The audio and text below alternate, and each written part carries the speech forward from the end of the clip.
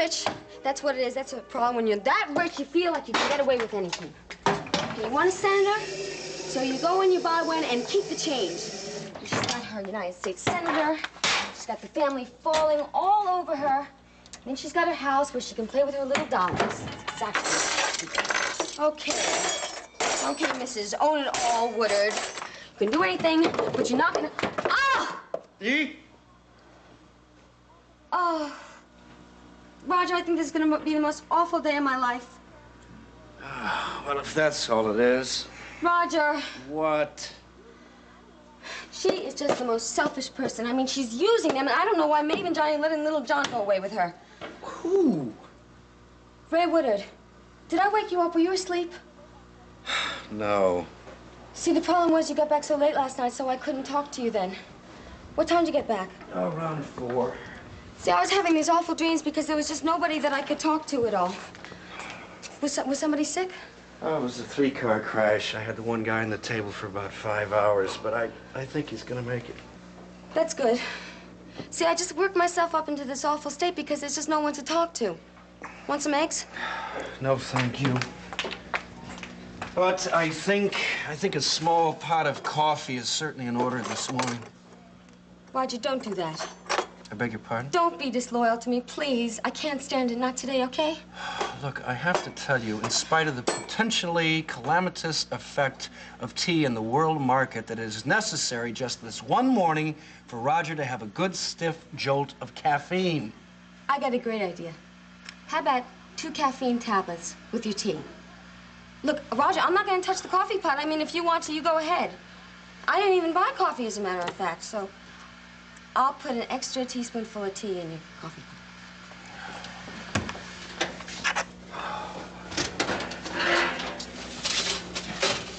You know, Delia, I think it may be time for you to diversify. Roger, tea is doing just fine. Yesterday, trading was very, very active. Well, obviously, lots of things were very active yesterday. Now, what's this about Ray? She's using little John. Using him? How? She's using him to get at Frank somehow, some way out. Well, what makes you think so? Because I went over to Ryan's yesterday just to check in. I want to show Maeve my coat. so Ray comes in. She says Frank is very depressed and he needs um, cheering up. So she wanted to take little John out in an open air car while they go campaigning through dirty streets and germ-full crowds. Now I don't know why Maeve and Johnny even let her do that. Why not? I mean, his father was was with him too, wasn't he? Yeah, but you know Frank, he's waving and you know he's shaking hands with everybody. I mean, little John could fall out of the car. Car it would be hours before anybody realized it. Did he? Did he what? Fall out of the car. Oh my, I don't, I don't know. Maybe I should call it. Maybe find out. Delia, just stop it. If anything happened to little John, Maeve would call you. Okay, sure. I know so. Want to know what else happened yesterday? You know what she said to me? What? She said to me that little John and her are just real good friends. She's been babysitting for her, uh, for him over at her penthouse. I can just see it now. Uh, her standing there in a thousand dollar dress with her fur coats, 22 fur coats just lined up, dishing out peanut butter. Can you picture that? just barely. Look, I'm gonna stop her. I don't know what Maeve and Johnny are thinking of, but um, I'm his mother, and I think I count for something. Did you discuss this with Maeve and Johnny? No. Well, I should think that would be your first priority. Roger, you know what I would really like? What? I would like little John to, to come here, and I'd like him to live with us. I want custody of my son. See, I know Maeve and Johnny have custody of him, but that's just until Frank or myself can offer him a good home. But now I know I can, because I'm married and we're rich, and, and I'm not crazy anymore. I'm real happy. So couldn't he come back and live with us? Hmm. What's the matter, Roger? I mean, you said it would be okay. Isn't it okay? I, I think that uh, little John is very charming, and I have no reservations about his coming to us, provided that's well, that you're certain that that's what you want. It is, I know it. All right, then, can I make a suggestion? Yeah, I think so. Now, since you haven't spent any significant time with little John the last few months, why, why don't you arrange to have an afternoon with him before you commit yourself to a to a life of motherhood? Okay, I'm gonna go over to Ryan's today. I'm gonna tell them I'm gonna pick him up after school.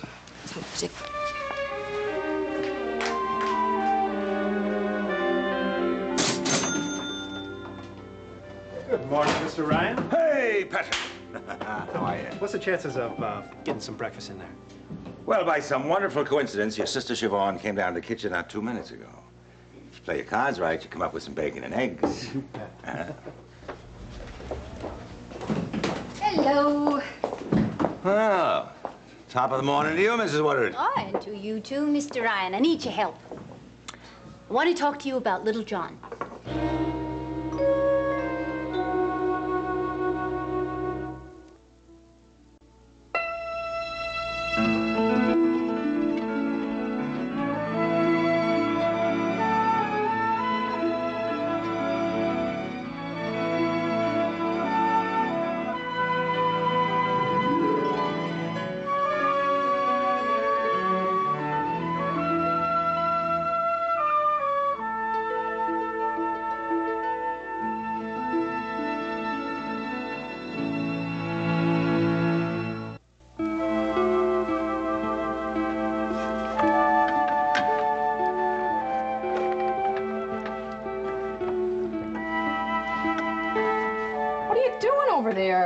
I'm looking for some coffee cake. Or seed cake, you know, plain cake, anything sweet. Well, why are you looking in the fridge? Because there isn't anything in the icebox. Well, try the oven, Sherlock. It's hot. Hot coffee cake? I was so overwhelmed by the opportunity to cook breakfast for you, my dearest brother, that and have your entire attention, full and undivided, focused on me, that when you went upstairs to talk to Little John, I took your aging father's favorite coffee cake out of the freezer so you could eat the whole thing hot with butter. Oh, Siobhan, the things they say about you are not true. Won't get any argument out of me. Tell that to Maeve. Tell that to Mary. How was it with, with, uh, with you and them? Mother has made her feelings very clear to me about my having anything further to do with the campaign. But when Frank put me working in his office with Georgia, there was no way for her to take that back. So things are distant between us. Pleasant, but a shade formal. And uh, what about Mare? I haven't seen her, so I gather that's the way she wants it. Siobhan, she's just busy. Sure. Ask me about Georgia. How are things with Georgia? Great! I'm so glad you asked. I'm mad about her. And a little scared, too, of course. I have bad dreams that I've been misfiled in a cabinet, and George is the only one who knows where I am. Please. Nancy Feldman seems like a nice girl. Yes, I suppose she is. Cream? No. Uh, what else have you been up to? Wes Leonard, columnist. The one with you on primary night. Yeah, that's right. I've had dinner with him since. And he keeps calling me up to tell me really important things like the temperature in the Peruvian Andes. In fact, he reminds me a little bit of you. Ah, incest! no, no, just kidding. no, seriously, he does, though. He's funny and he's sensitive to other people's moods and elusive. I am not elusive. You know I'm completely accessible to you. Then why are you dodging when I ask you about Nancy Feldman? What if I don't want to talk about Nancy Feldman? Then I would say you're being elusive because she sure wants to talk about you. Is that right? Yeah. Last night, late at the office, she told me all the reasons why you two can't be serious about each other. And I listened. She talked. I listened some more. And I think that she's in love with you. Well, you're wrong. No, I'm not. Yes, you are. My Siobhan of infinite wisdom and knowledge. In the beginning, uh, given, well, given my state of mind about faith, uh, I could have talked myself into falling in love with Nancy, but she made it very clear that our backgrounds presented insurmountable problems, and that was that. Well, do you feel that the problems presented by your No. backgrounds are, are, there's no way they can be No, solved? I don't think there's any such thing. But does that matter? Nancy believes that we couldn't get around this Jewish Catholic business, and if she believes it, then it's it's so. Judging by the way she was talking last night, I'd say that she's trying to convince Siobhan, herself. come on. I don't think you know what you're talking Look, look, look. Have I ever been wrong about somebody being interested in you? I know what I know. And I would take another look at this Nancy situation if I were you. Could I just have a little piece of that coffee cake there?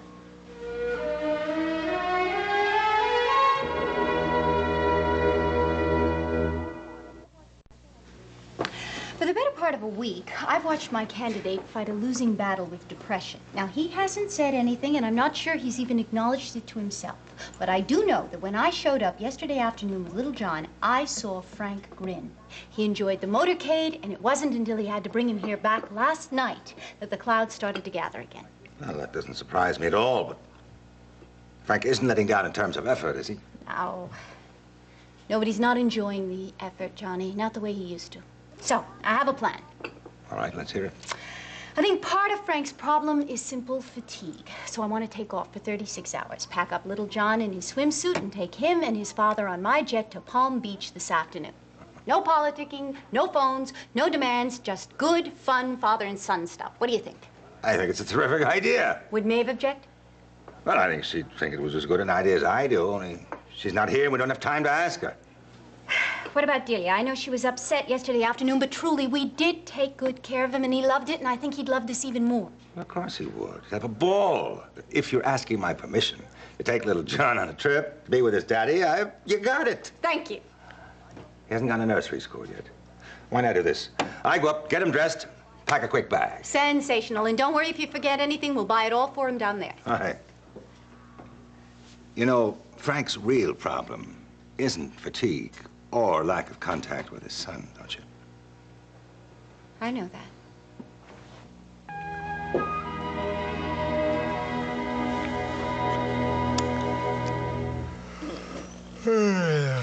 So begins another day of married life. Come here, you.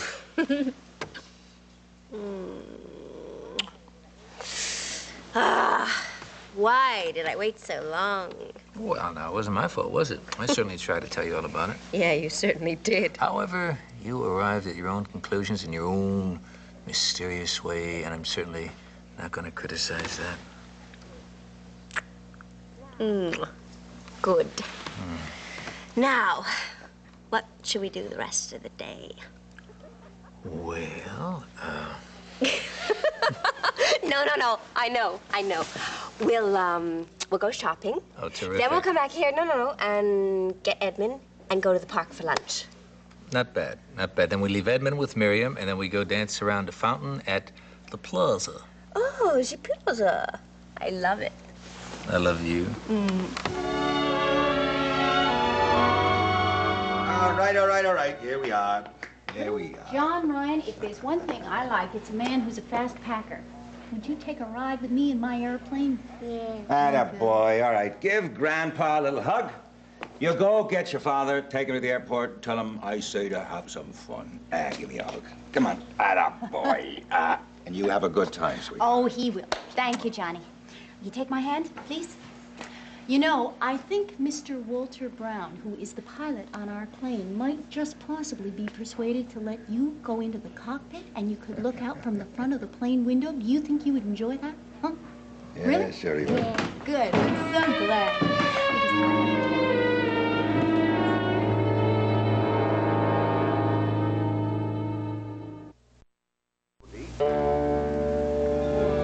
Hello, Dee.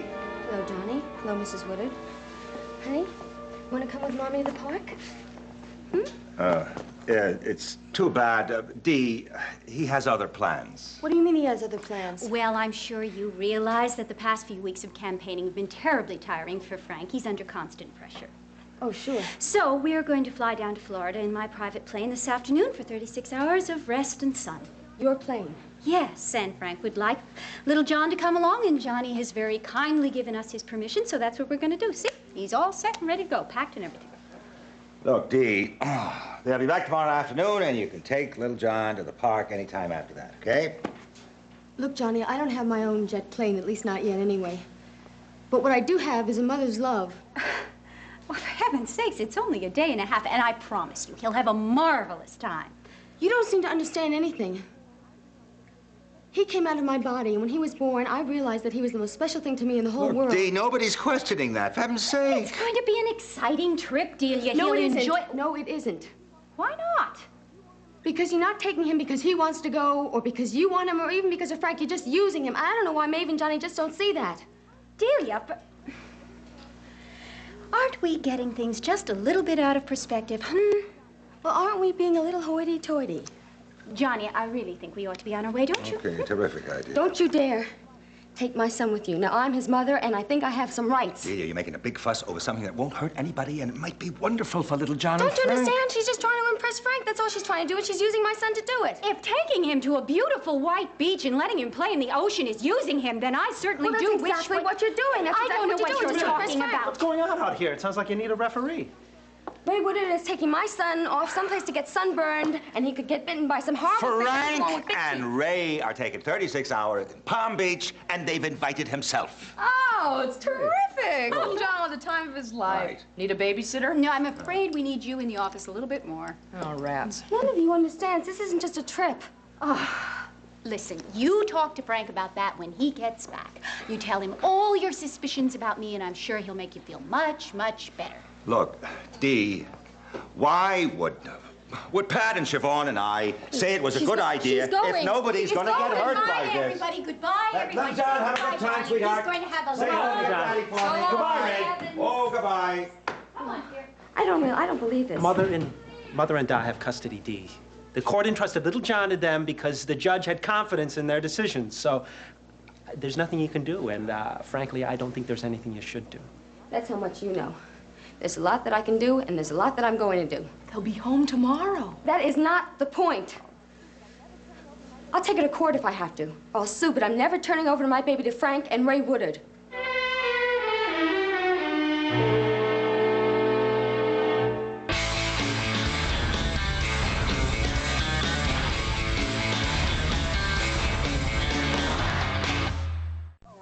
Oh. So, so we're going on a trip, huh? Yeah? Yeah! You and I and Ray? Yeah! Where are we going? Where? To the beach! To the beach. Which way to the beach? Won't, it, won't it be cold this time of year? No! No, no. Why? Where is this beach? Florida. Florida! Florida, Florida. How are we getting to Florida? Don't even! How about that, huh? Hey, listen, if you really are game for this madness, all I have to do is call Bob and we cancel everything between now and tomorrow night. Sounds great. Thank you. Good. Call the airport and tell them to expect us in 45 minutes. Ray, uh, I know what you're trying to do, and I appreciate it.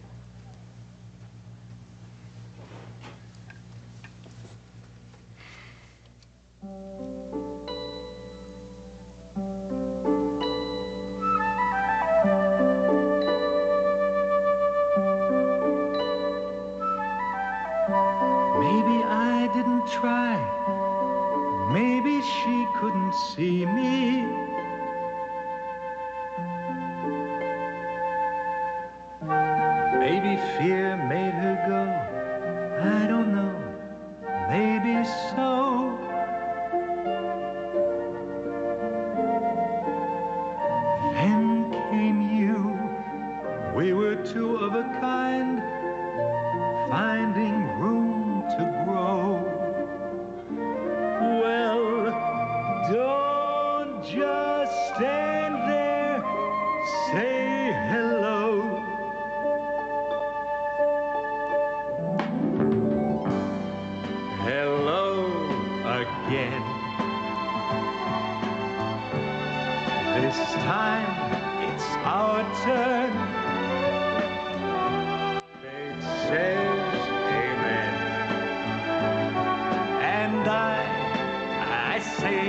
okay.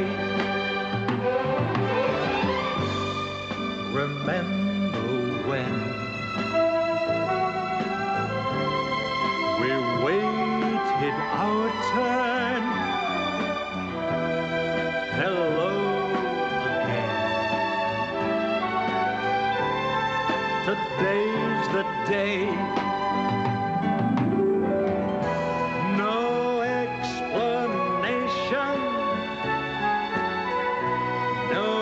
time to wonder why. Today we fly and that's all we can try.